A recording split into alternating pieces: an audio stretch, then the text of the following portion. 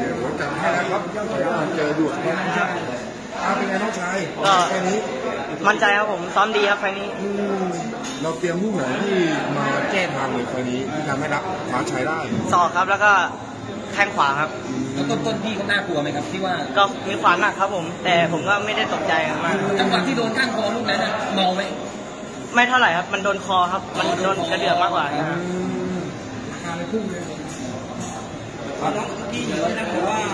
เจอดุเก้าเก้าไฟหน้าครับผมเรามีความความพิเศษไงน้องก็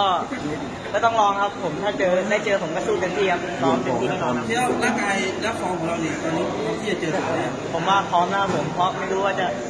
หาใครเจอใครก็ไม่รู้เหมือนกัน ครับคิดว่าเอาเวทเราตอนนี้ดีที่สุดที่ตัดไหนครับร้อยสามครับอืร้อยสามร้อยสี่ครับ แล้วที่เราตั้งเป้าว่าจะเจอด่วนเนี่ย ให้ด่วนร้อยสองลองร้อยสี่หรือยังไงควาแล้วแต่คิดโปรโมเตอร์เลยครับผมแล้วแต่แล้วแต่เลยครับตอนหนึ่งตอนหนึ่งแล้วแต่โปรโมเตอร์ครับคิดว่าร้อยสองร้อยสามหรือว่าร้อยสามร้อยสี่ดีกว่า ก็ได้ครับร้อยสามร้อยสี่ดีกว่าครับได้เดี๋ยวข้างที่ไม่เป็นไรไม่เป็นไรอ่าได้ได้ได้ แฟนมวยแฟนมวย VIP VIP โอเคคิดว่าผลงานใครต้องกลับไป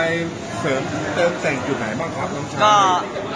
หลวมไปหน่อยครับหลวมโดนก้านคอทุกนัดครับอะสุดท้ายบอก FC แฟนคลับหน่อยครับ ก็ฝากเชียร์ฝากเป็นกำลังใจให้ผมทุกไฟต์ครับผมจะทำให้เต็มที่ทุกไฟต์ครับผมโอเคครัรับสวัสดีครับน้องชายแสดงความยินดีกับทางด้านฉลามชล สามารถพยัคฆ์อรุณนะครับวันนี้ก็ชนะน็อกทางด้านเพชรพนัสนะครับไปในยกที่สามนะครับสองยกแรกนี่ถือว่า ตกเป็นรองนะครับ แต่ว่ายกสามนี่มาเล่งยกเดียวนี่เตะขาน็อกเลยนะครับ ไฟหน้านี่ทางด้านเสียโบทนี่วางโปรแกรมให้เจอกระด่วนเก้านะครับ แต่ว่าต้องดูด้วยนะครับว่าน้ำหนักพิกัดไหนครับ แต่ว่าด่วนเก้านี่น่าจะต้องต่อน้ำหนักให้หนึ่งปอนด์นะครับนี่ก็เป็นบรรยากาศหลังเกมโดยรวมนะครับ ของคู่ที่สองศึกเพชรยินดีนะครับ